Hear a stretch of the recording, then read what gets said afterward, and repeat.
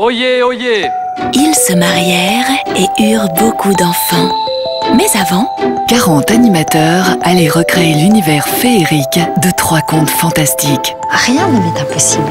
Euh... Quoi? Comment t'appelles-tu? Je m'appelle Blanche-Neige. Ah, ma soeur, elle ne vois-tu rien venir?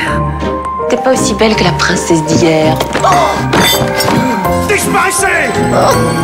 Un Noël magique et mystérieux Avec trois contes merveilleux. mardi soir à 20h50 sur France 2.